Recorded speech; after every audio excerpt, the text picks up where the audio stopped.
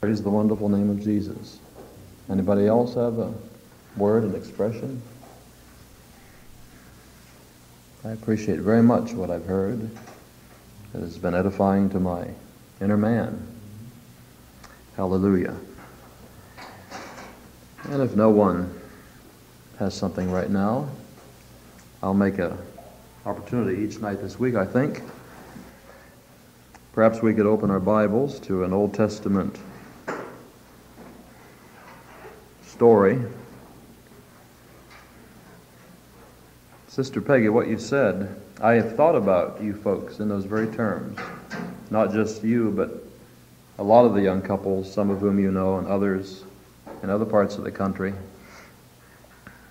I guess it's inevitable that there will be the testing time when our faithfulness is proved and we prove the faithfulness of our God.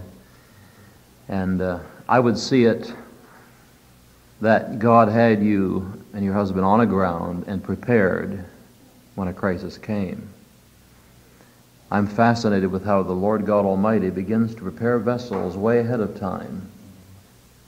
And that vessel doesn't know he's going to be used, never knows. You can't know. Even if people prophesy to you, it's still dim and tenuous. And uh, I had thought of you all over the years in those very terms, and I'm pleased to see the work of Jesus standing in your lives. How many are glad to see the work of the Lord standing? One way to interpret man as spirit, soul, and body. This is the con- considered conclusion of some of the great thinkers in Germany. The, work, the spirit of man can rep- be considered to be the work of God in your life. That's the dimension in which God works. That's His work, His business, His interest. How many know God will see to His own interest? How many of you try to see well to your interests? Some of us can be vehement, violent, impossible, stubborn, refractory, explosive when someone touches our own interest. That's the way I am. I'm very philosophical when you're not touching my interest. I can lean back and smile. And you won't know what my interest is. You may think you do, but when you touch the nerve, then you'll know. and I'll know. We'll all know, and God will know. Praise the Lord. But uh, it is, there's something creative present here. You see, you're all young believers. You are, I believe, with, with, without any, I believe in an absolute sense that I must regard you as future leadership in the church of the Lord Jesus Christ. I now, one way to look at it, well, you say, Brother Wilber, you're flattering yourself because this is your group of people and you want to feel big about something. So you're not just ordinary Christians, you're all apostles and prophets to come. No, no. I know that everywhere I go, there can be someone being spatially prepared by God, and it's better for me to think positively than negatively. Amen. Hallelujah. And so, I am a person who has been peculiarly blessed by the history of the Old Testament. Those famous Bible stories, the, the narratives of the Old Testament peculiarly bless me. In fact, as I opened the Bible today and read both in Deuteronomy and in 1 Samuel, I have my Bible open to 1 Samuel chapter 1 right now.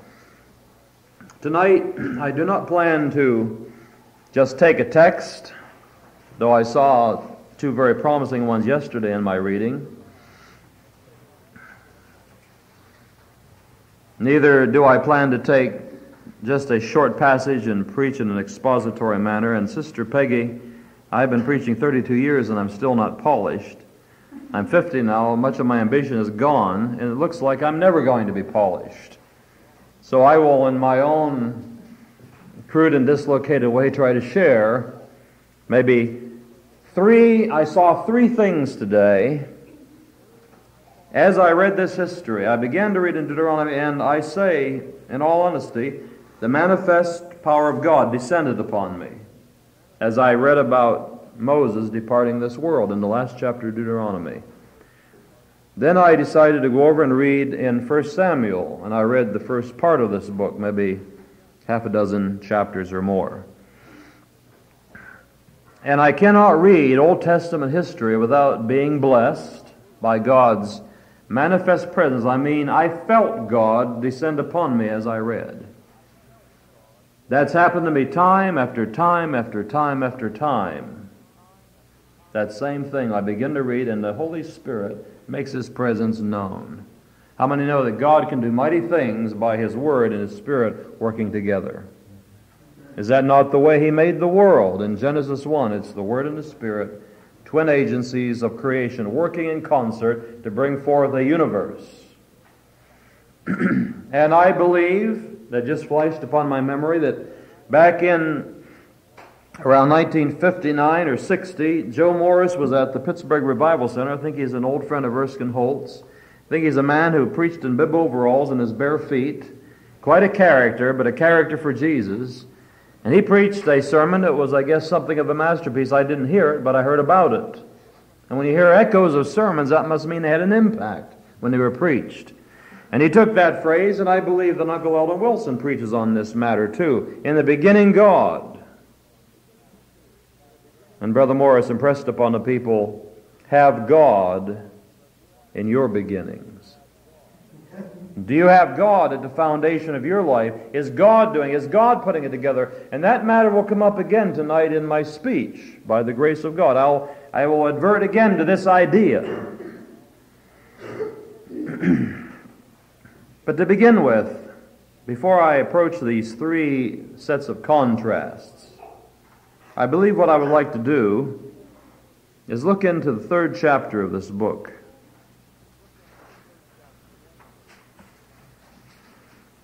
I would like to read some and make some introductory remarks. The first thing we can say is that it tells us right in the story that this man, looking into 1 Samuel chapter number 3 and verse 1, which says, And the child Samuel ministered unto the Lord before Eli. That's a little bit the way it is today. Younger people are at Pinecrest begin to minister unto the Lord in the presence of some of us who've been around a little longer. That's an ancient and venerable order of God relating to the family. And uh, who did I hear say just today or yesterday? They quoted a man who, I guess it was my wife reading something, where there's a man going around, and his chief subject matter in his speech and discourse is to try to destroy the family as a reality out of this world. He feels that what plagues the human race is the family, and we all know that families do do a lot of damage to us in some cases. Our parents impart their neuroses to us and that sort of thing. Family life can become a kind of a fatalism. It can become like a burden. It can become like a monkey on the back. It can be something that pursues you down the pathway of life quite a long time. And you may hear your mother's voice rebuking you when you're an old, old man yet. But God's order is still to be placed in a family. The psalmist says one place, He setteth the solitary in families. And I believe if one were an orphan or a very solitary individual or a very lonely person and you met Jesus and, and you loved him and you took him with all of your heart and mind and soul and strength, I believe you'd find Jesus putting you in a family setting. How many can say amen to that if you don't say amen unless you believe it? I believe God, I believe that's the kind of a God we serve. He's a father God, He's a family figure.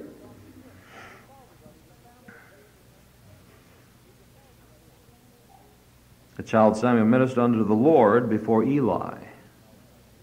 And uh, Eli is called in this uh, book of the Bible, back in chapter number 1 and verse number 9, it refers to Eli the priest. He is the man, he is evidently the high priest at this time. His sons Hophni and Phinehas are called uh, the priests of the Lord. Evidently, Eli is the main man who is overseeing the wonderful, wonderful, wonderful order called the Tabernacle of Moses.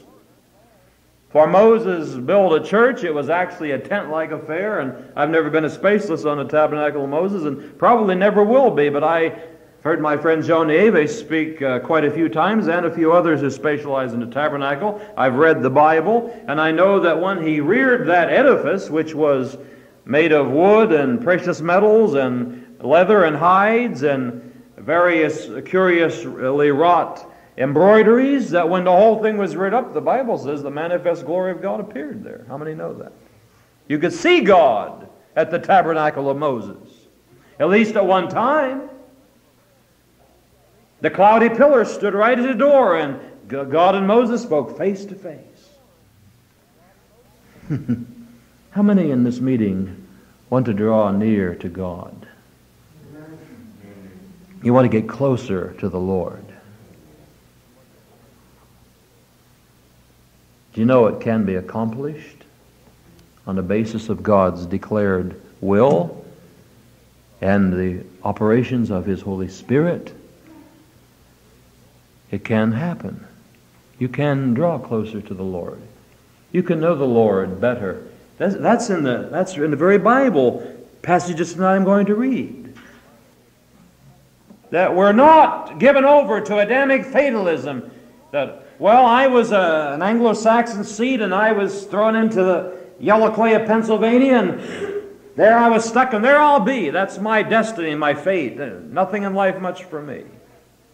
I like the thing Peggy brought out that though Joseph was perhaps stuck here with his main root, he wasn't content to be there and he put forth branches that went over the wall. If you're sick of the dimension you've been existing in, start putting branches for. Don't wait for somebody to uproot you and pot you and ship you as a service. Don't wait for God Almighty to, to send a thunderbolt and translate you from here to there, but begin to put forth your branch.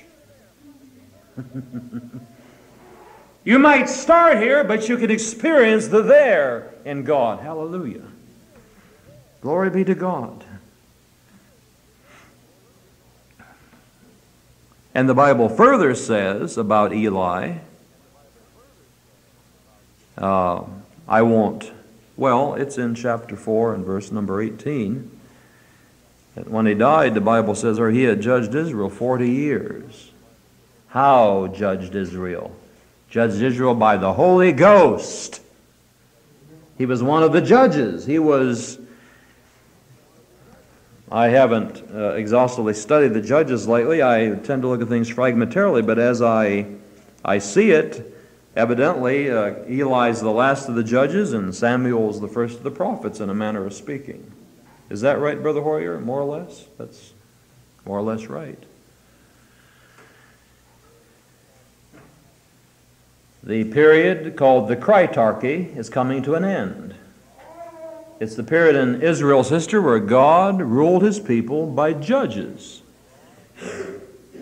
And that doesn't mean they were like Roman uh, legal figures who were harsh and unyielding, but the very judgment that poured through their beings was God's own judgments. It was how God thinks and feels upon the throne. They became mediums for God to pour through. That's a challenge before us tonight. Not just to be mere human beings, but to become open channels for God to pour Himself through us.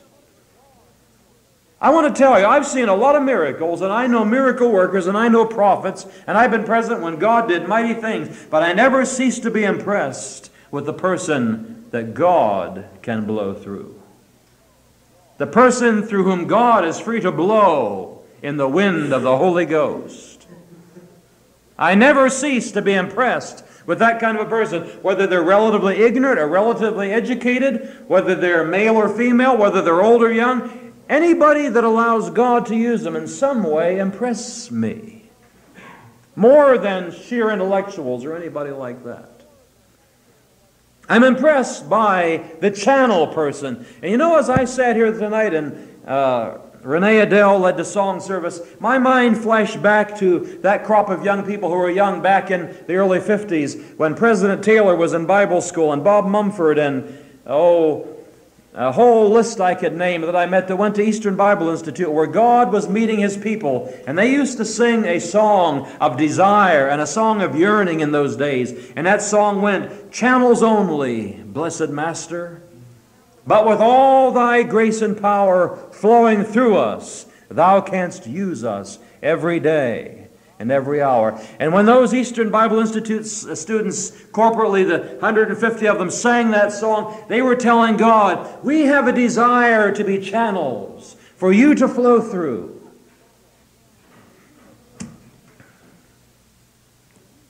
How many of you have been impressed with the whole idea of God flowing through a man or a woman, using them? That man or woman becomes super, superhuman. They transcend the normal plateaus of human experience and existence in God Almighty. I feel like telling a little story that happened to a friend of mine. He's, I judge he's older than myself by a few years two, three, four, five. He's widely regarded as a prophet. He's a peculiar person, and he's frankly a difficult person. But God uses him anyway. Is that all right? For God to use people that aren't quite perfect yet? People we don't quite approve of? He's been caught up to the throne room and been in the glory of God. But when he was not long out of Bible school, but he was older when he went like Brother Taylor. He was a businessman before he ever went. He was a logger, a lumber, uh, lumber man, and he worked in the woods, and God sent the best disciple uh, Walter Butler ever had into the woods, and he taught him two years as they cut timber together. Either you may come to the Lord or God will go after you back in there. And he took a church in western Pennsylvania, and a couple in the church had a small baby. Baby had the characteristics that it hadn't grown any since it was born. And did also have a cavity on the side of its head, like a grapefruit, inverted, a convex place, a concave place. and uh, they weren't very concerned. And when one day some concerned, maybe some older mother, sort of set a fire under them and said, you people better go get that baby checked. She was so vehement that they were motivated. They went to Pittsburgh Children's Hospital, and there they got one of those devastating diagnoses that science can hand out. They said, Your baby is never going to grow, and you'd better go look for a home to put it in right now. And they came home shattered. About 40 miles north to where they lived and where the church was.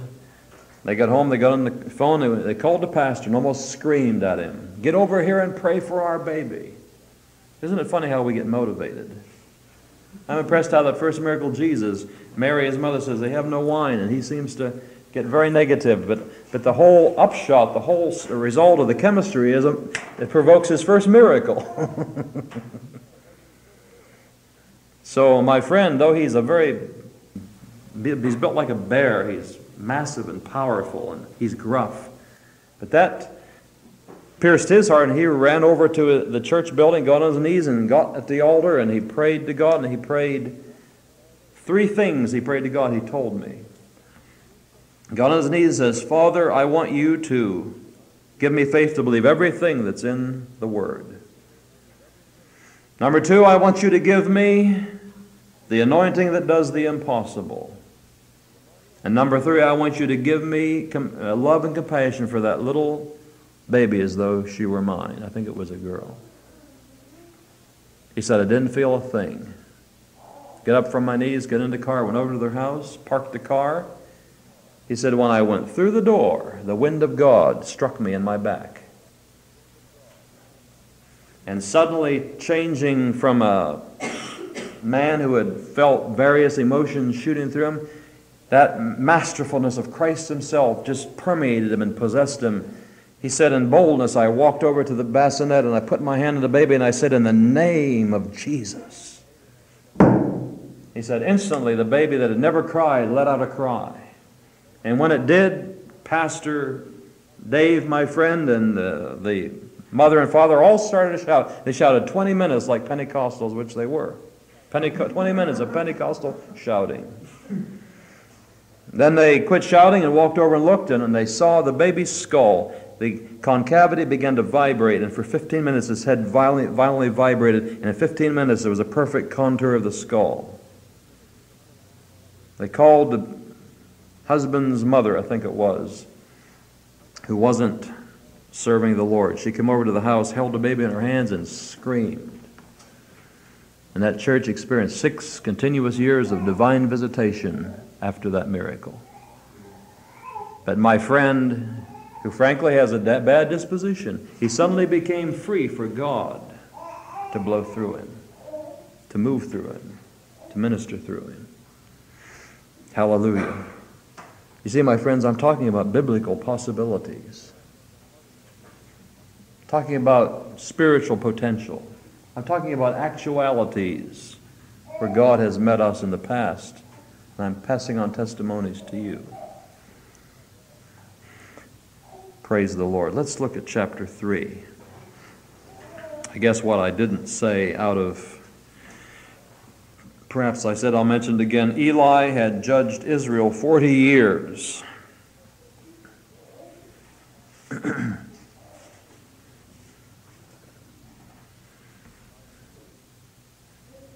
the Bible says in 1 Samuel chapter 3 and verse 1 And the child Samuel ministered unto the Lord before Eli. And the word of the Lord was precious in those days. Some versions say scarce. There was no open vision.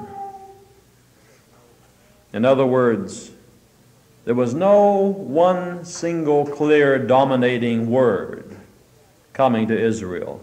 It was a very scattered nation. Many people were doing that which was right in their own eyes, no doubt, like other periods of time where there's distinct Bible statement to that effect. Every man did that which was right in his own eyes, because there was no single clear word coming to the people. The, the, the society was at this point disintegrated.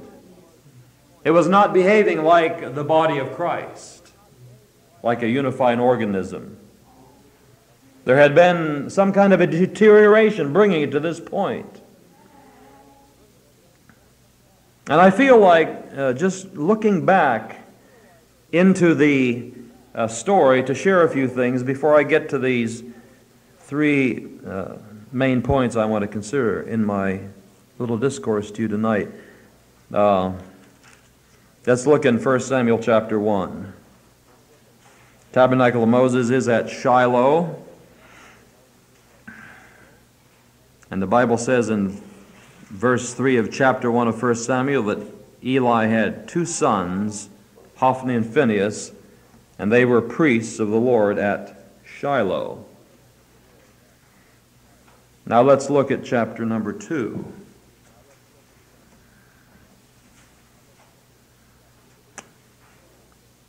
Chapter 2 and verse 12 of 1 Samuel says this to us. Now the sons of Eli were sons of Belial. They knew not the Lord. That's a Hebrew phrase that means they were utterly worthless or reprobate. And then it goes on to tell us in the story that when the Israelites would go there to worship the Lord and sacrifice, the young men had set up a regime of gangsterism a criminal kind of thing where they were taking all of the offerings of the Lord by force that they wanted. They were intimidating people, they were bringing people under fear. And the Bible says in verse 17 the sin of the young men was very great before the Lord because men abhorred the offering of the Lord. In other words, the action, the ministry of, uh, of Hophni and Phinehas was to cause worship in Israel to decline.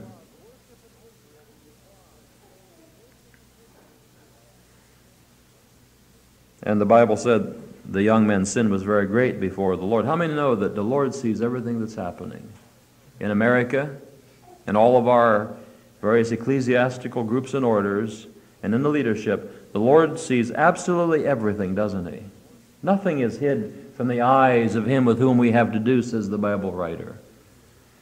But he doesn't strike immediately. You see, he's seeing it, he is registering it, and he has a, a, he has a judgment about this. He has a decision. He has a word and a will, but it doesn't come just immediately.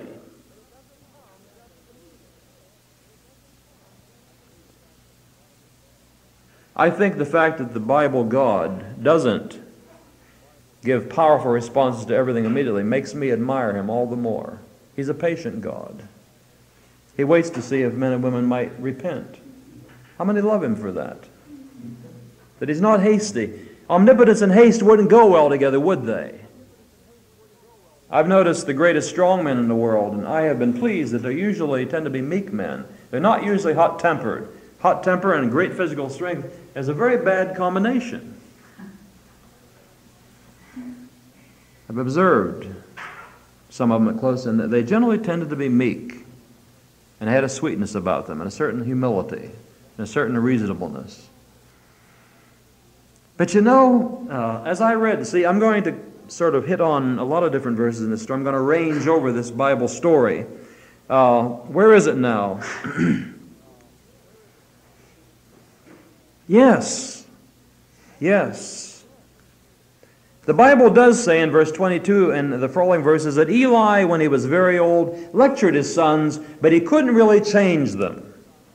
They didn't respond to his word. He says, Boys, you're not doing right. He gave them some plain, plain and clear fatherly moral exhortation.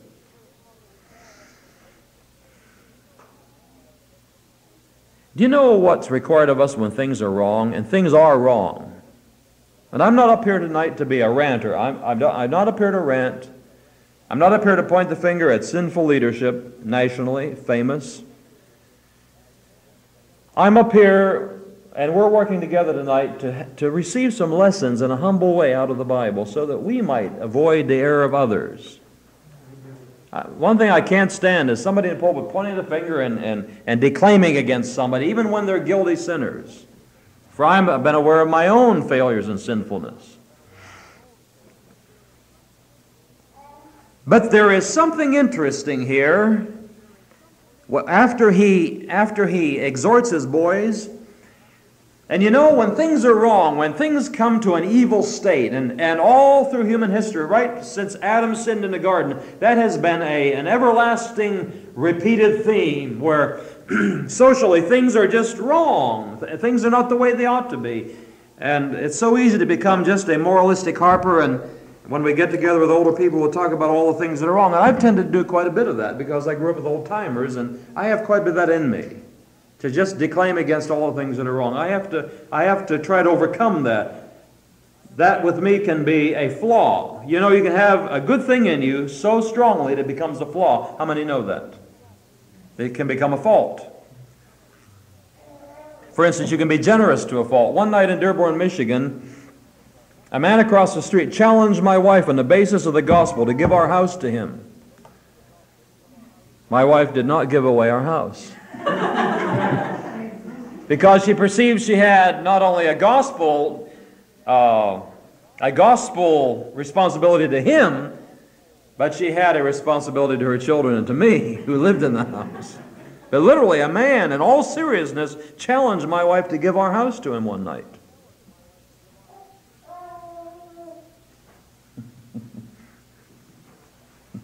Life can put you in some funny predicaments. But when things are re- reach a certain state, there's something called for that we, as contemporary Americans, have a hard time with, and it's called, I'm going to use the phrase, moral effort. Sometimes you can find yourself in, in a state of being that it takes an enormous moral effort, even in view of the grace of God, to extricate yourself from it. Uh, Eli is not capable of putting forth this character and intensity of effort, he has descended into a state of what I will call personal fatalism. Much like a Hindu attitude, let come what may. I can't do anything about it. My moral muscle is weary and tired, and I can't use it anymore. I'm tired. I tried with those boys. I told them, I told them, and now Eli is beyond 97 years old. I think one of the things that scares me the most is when I see myself weakening and not being as willing or able as I used to be to put forth moral effort. I want to warn you, young people, here something tonight. I have the right to give a few serious warnings as well as preach people happy. Can you say amen? If you don't make certain decisions now while you're young, You think, well, I'll wait, Brother Wilber, till I'm a little more mature. I'll wait till I'm better informed. You may find you have waited beyond a kind of dividing line where you no longer care to put forth that kind of moral effort. See, Eli didn't have his boys subdued when they were four years old. Now they're 55 and 60. They're three old men when they come together. Not a, like a dad and his boys, but it's like three old men with hard heads, nobody willing to yield. Hear me again. You're either going to make some decisions now in life and establish yourself now or never. And as far as we go in this meeting with our eight, it can't get any sooner than tonight. Can it? Can't get any sooner than now. So that's a, that's a moralistic theme, and as I promised, I'm not going to harp on it. I'm not going to pluck on that string in my harp a great deal and get your one nerve irritated. But I did register a thought, did I not? Can you say amen? I registered a thought. Now I see something fascinating here. I'm, I'm, I'm spending so much time on the introduction, I must get to my main, more main points. But he finally says to his boys, probably in one of his last serious speeches to them, 1 Samuel 2 25, he says, If one man sin against another, the judge shall judge him. But if a man sin against the Lord, who shall entreat for him? And then look at what the Bible says. Notwithstanding, they hearkened not unto the voice of their father, because the Lord would slay them.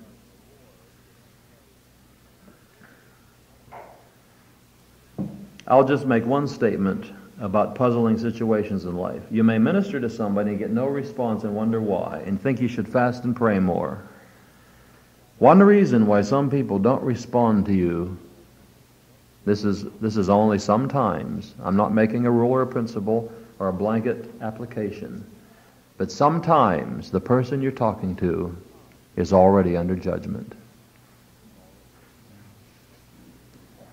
That's as much as I'll say. Those are serious elements in the text of the Word of God. Can you say amen? It's in the book, isn't it? Some churches, they don't allow you to preach on those verses. They tell you so, too.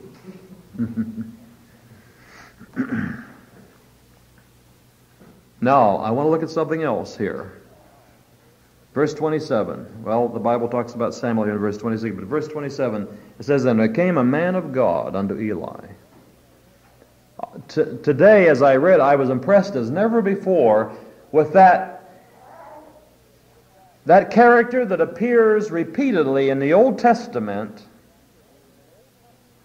that nameless man of God. Not a famous prophet like Isaiah who can who is a master of, of rhetoric and poetic expression and who sees the vast uh, scope of the plan of God, but some anonymous individual who nevertheless knows the voice of the Lord, and God can send him to the situation, and all the Bible names him with is this anonymous phrase there came a man of God.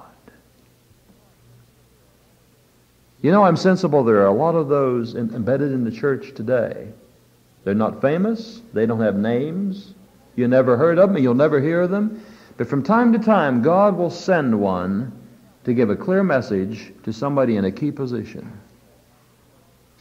Over and over, I read about this nameless prophet. He knows God just as well as Elijah and Isaiah, but he doesn't have any name. He has never done big things. God has not seen fit to give him a broad scope of activity. But when the need is there, God can say, I want to give you a message and I want to send you to Eli and I want you to speak to him for me, says the Lord. I became fascinated with this figure, the nameless man of God, who is not famous even in the Bible or in God's whole because there, we don't know his name. Without a name, there can be no fame.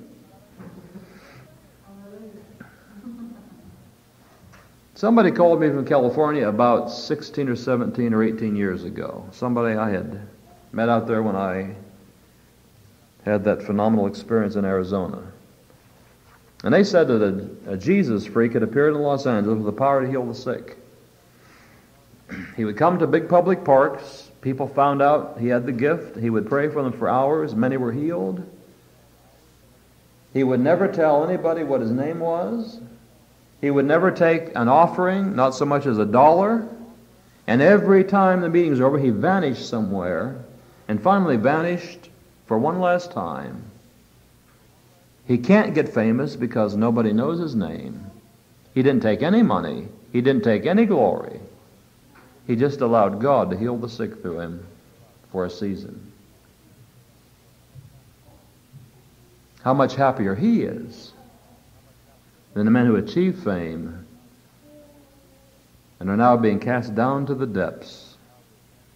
I just read a masterful sermon called The Strappado by Alexander Whyte by that thing in man that hoists him up to the heights with desire and then lets him fall and knocks all his bones out of joint. It was a Spanish torture device, the strappado. And our ambition will strappado us. Our desire for fame will strappado us. It will lift us up to a high place, and then we will be released to crash. And the Spanish would do that in the Inquisition to you over and over until all the bones in your body were out of joint. There hasn't been a strappado in the world operating probably for several centuries. And yet, lots of men are still getting strappadoed by their own ambition or their desire for fame. I'm preaching realities tonight. I'm preaching things that could strike me, but by the grace of God, I want to avoid them. Francis Thompson said in the poem, The Hound of Heaven, in one unforgettable line, he said, when God began to court him, and when God began to draw him, and when God, the Holy Ghost began to show him Jesus and his saving power, Thompson, who was a genius, a sensitive genius, said, I feared lest having Jesus, I might have nothing else besides. But my friends, it can be a very good thing. It is a very good thing to need Jesus plus nothing. Hallelujah. I'm preaching classic realities tonight. I almost feel like a voice out of the past. I'm not preaching. How many know I'm not preaching a popular message tonight? You go around a big auditorium and get the American people in and tell them praise the Lord. How many can praise the Lord for the man of God who had no name? Or that woman of God in society that serves the Lord faithfully and she has no name and no fame. And the man of God told Eli, I'm going to judge your house.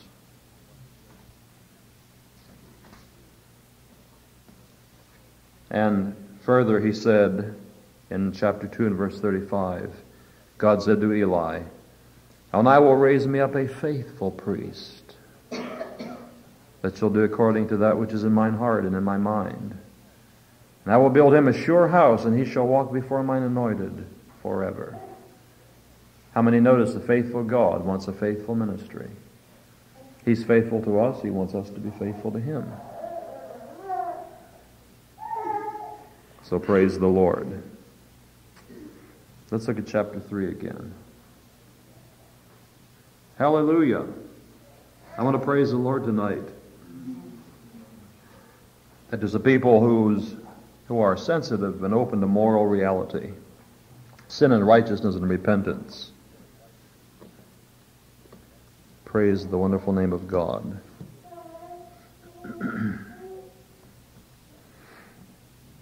and so I'm in chapter 3 of 1 Samuel. I had read verse number 1. And the Bible says in verse 2 And it came to pass at that time when Eli was laid down in his place, and his eyes began to wax dim that he could not see. And before the lamp of God went out in the temple of the Lord, where the ark of God was, and Samuel was laid down to sleep, that the Lord called Samuel, and Samuel answered, Here am I. And he ran unto Eli and said, Here am I, for thou calledst me. And Eli said, I called not, lie down again. And Samuel did, and the Lord called again. And again, Samuel did the same thing. He ran to Eli. Eli said, I didn't call, lie down again. And in verse number seven, it tells us, Now Samuel did not yet know the Lord, neither was the word of the Lord yet revealed unto him. I just want to bring out we can be a man or woman of the covenant. We can be serving God in the capacity. He was right at the tabernacle or the temple at Shiloh. He was, the Bible says, ministering unto the Lord. Yet the Bible said he did not yet know the Lord, neither was the word of the Lord yet revealed unto him. And that's where we're at in this generation. God has apprehended a multitude of young Samuels, both male and female. They're ministering before the Lord and under the general oversight of an old, experienced Eli, an older ministry, either good or bad, and yet they don't yet know the Lord like they're going to know Him. And the word of the Lord has not yet been revealed to those young people. Isn't that a critical moment we're at? Very delicately poised. Praise the Lord. Now, I want to try to share three insights with you. Here we have before us Eli in his wonderful ministry passing off the scene of history, and we have God bringing the first great prophet upon the stage of history who will begin the orders of the prophets in Israel. His name is Samuel. And as I read today, and as I read about Moses and read about Eli and read about Samuel, I was impressed with a contrast in characters.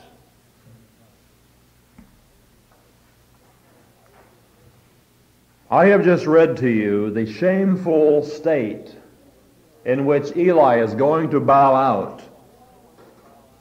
Eli is not going to finish up his ministry with many curtain calls in the spotlight, with the crowd uh, hilariously applauding him.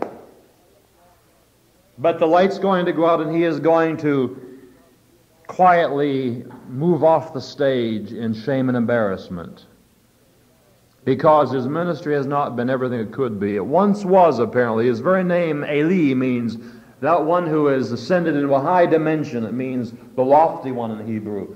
But though he might have soared like the eagle prophet at one time and had very clear vision, when the story opens on him, he has come down from his high stratosphere in God and he is more or less moving on a very earthly plane. I just want to point out how this man who had many wonderful qualities, he judged Israel 40 years, God trusted him with the gifts of the Spirit, the word of wisdom, the word of knowledge, uh, the, the, the, the, gift of faith. I believe when he spoke he, what he did to Hannah and, Eli, and Samuel was born, no doubt that was a form of the gift of faith operating. He had apostolic and prophetic gifts, and no doubt gifts of a teacher. He had pastoral gifts. He was a kind of a universal man, much like the Apostle Paul when he is younger. But now, in these days, he has come down from that lofty position, and uh, the word he gets from the Lord is a negative and rebuking one. In contrast, look what the Bible says about the mighty Moses. We're talking about a contrast in characters right now. I want to look at the last chapter of Deuteronomy, number 34. There are 12 verses in, ver- in chapter 34. And in this chapter, in verse 1, Moses goes up into the mountaintops, mountain of Nebo to the top of Pisgah. And the Bible says the Lord showed him all the promised land. I almost see the Lord confiding in an intimate. Moses is his intimate companion. He's the one God tells his secrets to. And he's, God says, I'm going to give all this land to, this, to the descendants of Abraham, Isaac, and Jacob. And I cause you to see it with your eye, but you'll not go over. And the Bible says in verse 5, Moses died there. Verse 6 says he buried him in a valley. I understand that God Almighty buried him. in a grave that no man ever discovered.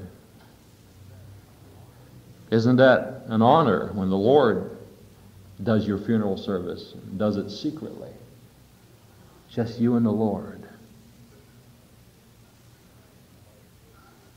And the Bible says he was 120, his eye was not dim, and his moisture had not dried up. Verse 8 The children of Israel weep for Moses in the plains of Moab for 30 days. Quite a man, huh? Life is suspended for a whole month. No commerce, no farming, nothing. This man that went was so important and so tremendous and had so epitomized the will of God in the earth that a whole nation would stop everything for an entire month. Because no man in America can command that kind of interest or devotion or faithfulness, is there? No man. If every leader of ours died, business would go on as usual because we don't have a Moses. I want to tell you something. Moses had a walk with God, and his footstep is still making the earth vibrate to our generation. That's how much might God put in Moses. Every time you tremble at the broken law realize the holy God you've offended, you can thank Moses for the revelation. And he is the one who, who, who, who develops the sense of need and hunger for Jesus. they work together law work and then grace work. The broken law, then forgiveness from the Father of the Lord Jesus Christ. Hallelujah.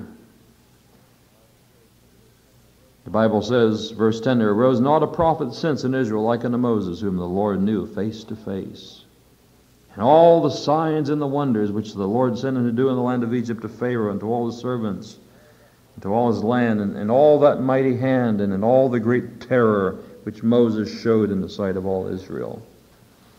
See, a contrast in characters. We must so live, dedicated to the Lord, that when we pass from this life, it will not be in shame. If you turn to the 26th chapter of 1 Samuel, which you don't need to do, you'll find Saul giving a summing up of his life, how he had performed. Saul says of his own self, I have played the fool. Too late to rectify it. You get the point. Two very different kinds of characters. I think one of the problems of the present religion in America is we have lived too much in the short term, too much just in the now, too much for short term gains and blessings. We have to begin to look down the road. Amen. Now, I want to I want to talk about contrasting manifestations, both contrasting and ambiguous. Manifestations that look good on the surface, but they don't really contain the meaning that we would hope. Chapter 4 of 1 Samuel. Samuel is now established as a prophet. Israel is in, in a real chaos and a real mess. They're under siege from enemies and their great judge is old and, and senile, and there is a confusion reigning. But there is one hopeful note. There has developed in Israel one man, one young man who knows the word of the Lord. His name is Samuel. Look what it says about Samuel in chapter 3 and verse 19 and 20. It says, And Samuel grew, and the Lord was with him, and did let none of his words fall to the ground.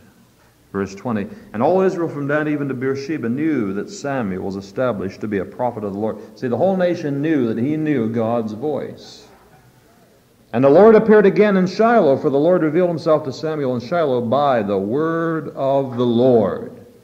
My friends, it is a tremendous thing to know the voice of God. I believe the strife over that is the reason for a lot of the warfare in the charismatic movement. It's the fact that there is one thing the devil doesn't want, and that's a man or woman in this earth who knows God's voice.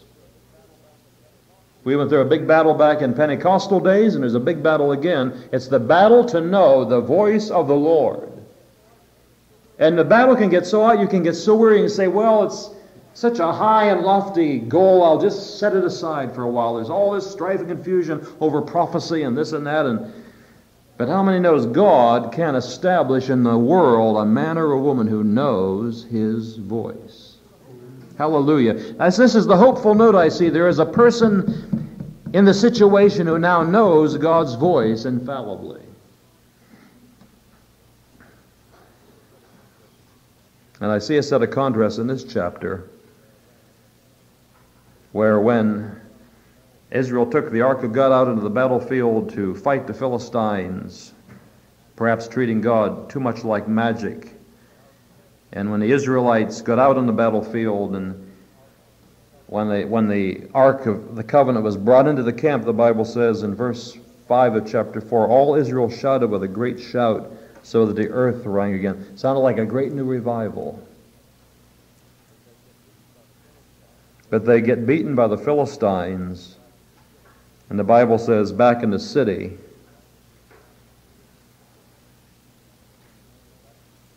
when, they, when the man went back to the city and told it, it says, all the city cried out in verse 13. And Eli heard the noise of the crying in verse 14. May I say it was a shout that did not really denote victory because it wasn't according to the will of God. And the defeat gave rise to a crying that was not purely repentance.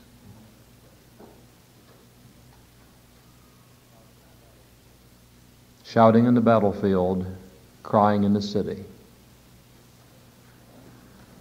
It's another set of contrasts I noticed in the Bible story.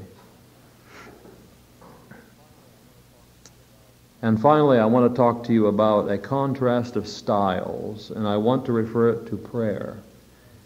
I, I realize today with a new clarity that there are various styles of praying and of prayer, various approaches to prayer.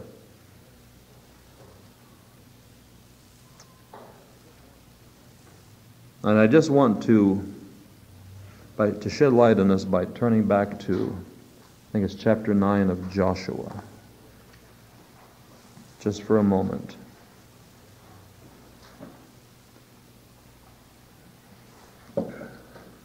Praise the Lord tonight? How many praise God for His book and for His Word and for the instruction we get from it? In chapter 9 of Joshua is the story of the Gibeonites who feared Israel and deceived them and got them to make a covenant by appearing to come from a long distance, by having moldy bread and uh, very worn clothes and shoes, and the Gibeonites wanted to live and not die, so they devised a scheme and they deceived Israel. And they went right to Joshua and the leadership and asked him to make a covenant. And this is what the Bible says in Joshua 9:14. And the men, that's the leaders of Israel, took of their victuals. And the leadership of Israel asked not counsel at the mouth of the Lord. And Joshua made peace with them and made a league or a covenant with them. And I notice in this story, something that impressed me today is that there were times when the Israelites, and through this period of history, would get an idea and they would do it. And there would be a disaster because they did not first inquire at the mouth of the Lord. They did not ask counsel from the Lord. Then, when the crisis uh, avalanches upon them and they're smashed, then a tremendously sincere prayer is, is provoked.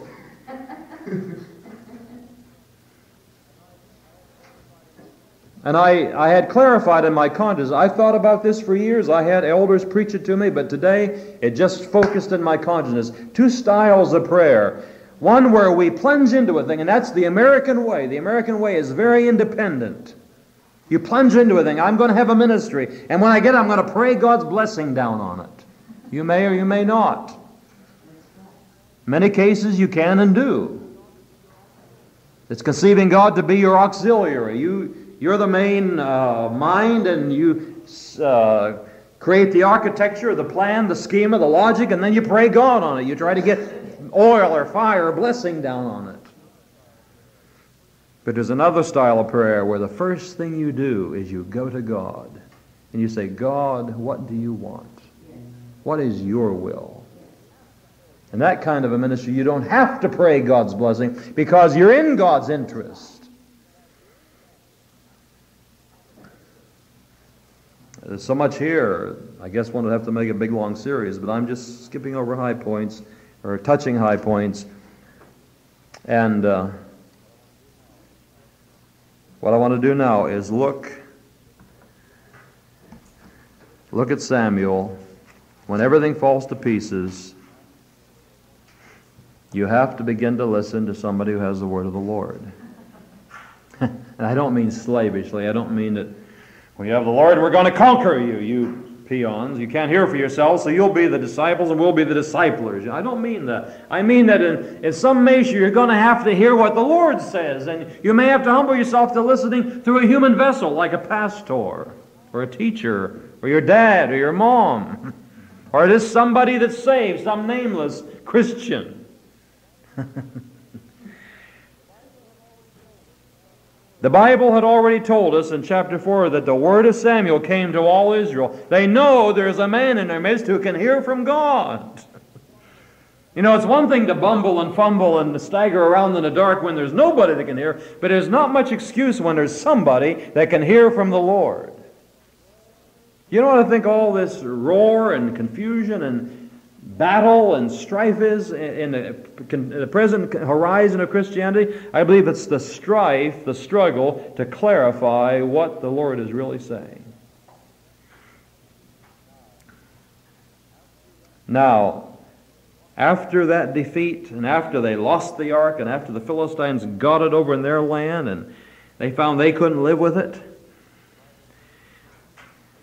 the Bible says in chapter 7 and verse 3 that Samuel spoke, spake unto all the house of Israel, saying, If ye do return unto the Lord with all your hearts, how many know there's not much use unless your whole heart's in it? Half hearted religion can issue in awfully unsatisfactory states. He said, If you do turn to the Lord with all your hearts, then put away the strange. And I'm not preaching to you as though you're a people who need to have a big repentance and get a big revival going. We're just studying a Bible lesson in a low and humble way tonight.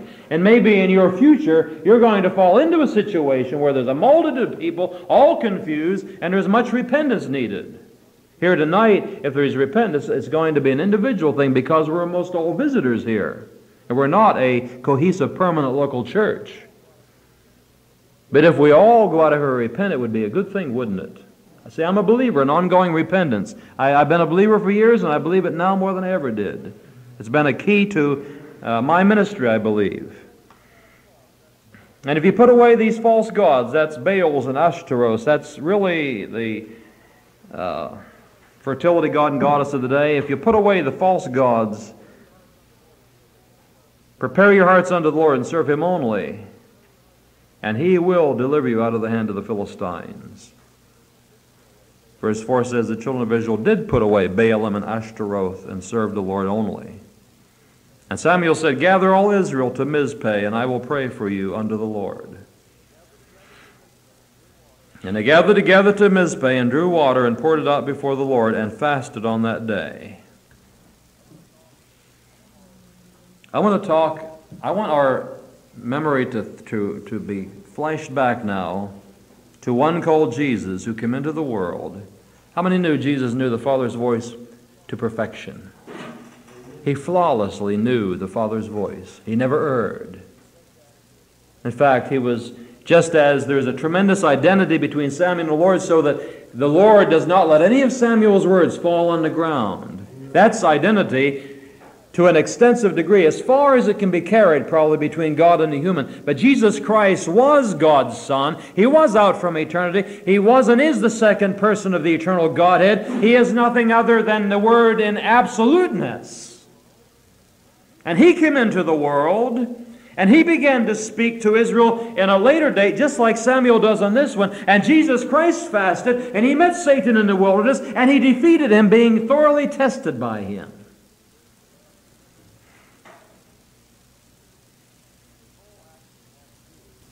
And his whole action had to do with destroying sin, didn't it? And that's what Samuel's doing. He's getting the sin of Israel out of the way so God Almighty can work by his power.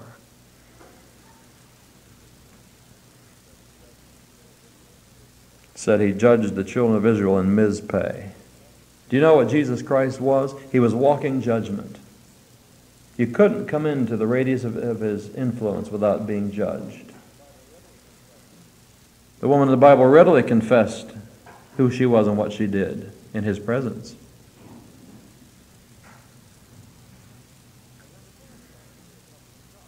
And then the Philistines hear something's up, and and they, they are going to now come against the children of Israel. In verse 8, the children of Israel said to Samuel, Cease not to cry unto the Lord our God for us, that he will save us out of the hand of the Philistines.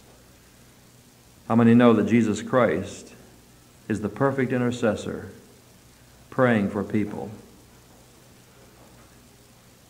It's a wonderful thought to think that Jesus Christ intercedes for us. He ever liveth to make intercession for us at the right hand of God. The Bible says, and Samuel took a sucking lamb and offered it for a burnt offering, a wholly unto the Lord. And Samuel cried unto the Lord for Israel, and the Lord heard him. Jesus Christ, calling upon the Father, offered himself as the lamb without spot and blemish.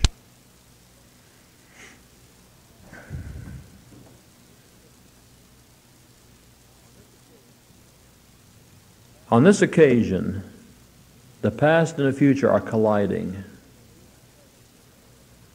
And when Jesus Christ was in the world, the old sinful past of man collided with the coming kingdom of God.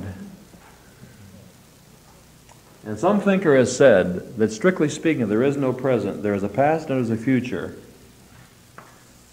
And their collision forms a cross.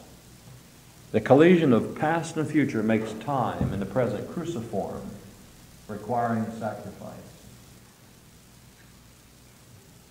Hallelujah.